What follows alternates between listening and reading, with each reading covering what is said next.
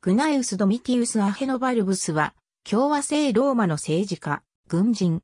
紀元前2世紀から頭角を表し始めたプレーブスのドミティウス氏族アヘノバルブス家出身。父は、同名のグナエウス・ドミティウス・アヘノバルブス。紀元前108年からクイントゥス・カットゥルス、マルクス・ユニウス・シラヌスと共に、貨幣鋳造参任委員に就任。紀元前104年に、五民間に選出される。同僚は、ルキウス・マルキウス・ピリップスらであった。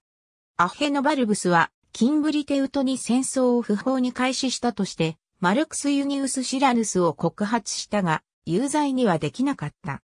また、この年死去した父の後を継いで、人議官になれなかったことに腹を立て、父の同僚人議官である、マルクス・アエミリウス・スカウルスを儀式の不備で告発したが、これも無罪となった。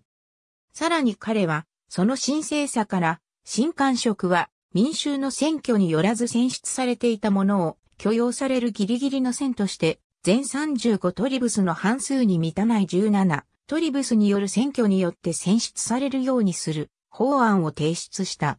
紀元前103年にはおそらく自身の定めた法によって人議官に選出され、同時に最高人議官に選出される。紀元前99年にはプラエトルに選出された。紀元前96年、執政官に選出される。同僚はガイウス・カッシウス・ロンギノスであった。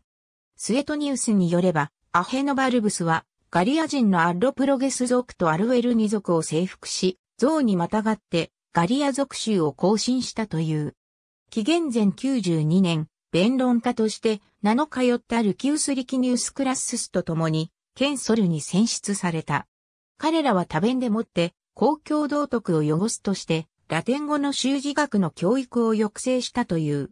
ただ彼らの仲は悪く、アヘノバルブスは、クラッスの贅沢好きを攻撃するなど口論が絶えなかった。マルクス・アエミリウス・スカウルスがプリンケプス・セナトゥスに再指名された。紀元前89年頃に没した。ルキウス・ドミティウス・アヘノバルブスは彼のことを思われる。ありがとうございます。